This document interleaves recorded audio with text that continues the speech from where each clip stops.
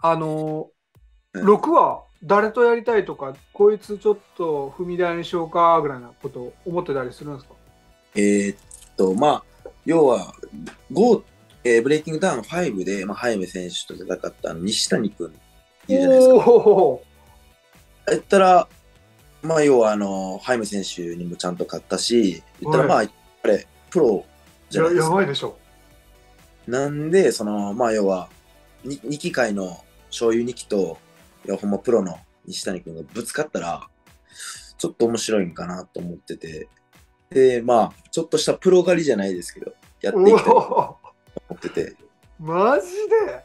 あ正直全然その、弱い子となんかその対戦希望とか全くなくて、もう強い人とどんどんやっていって、もう結果出したら、えそ笑い担当じゃないじゃないですか、それを。ガチで。やだから格闘技はそう。格闘技は。強い人食っていって、あ、こいつさらにおもろいやんっていうので、まあ見てもらいたいですね。え西谷さんがあったらやばいと思いますいやー、強いっすよね。多分。いやめちゃくちゃ強いでしょ。だって毎日トレーニングしてる人と週一でトレーニングじゃでしょいやちょっとトレーニングは増やしますよ、もちろん。あでしょでしょがに週1回で西谷君とやるっていうのは、ちょっとさんで、こっちもちょっと、まあ作戦組んで倒しに行きたいなと。いやマジでそれはストーリーあるね。ハイメさん倒したからじゃあハイメさん倒した西谷さん俺やりますわって結構つながるし。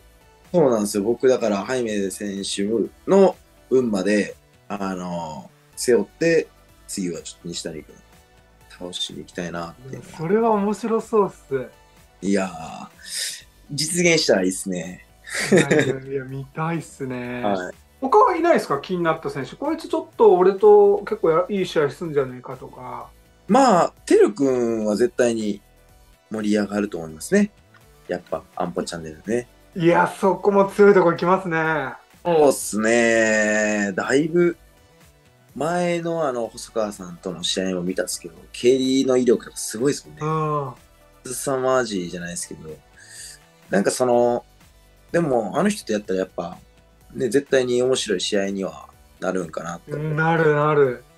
でも多分、てるくんも自分の多分行きたい、多分あの、ストーリーがあると思うんですよね。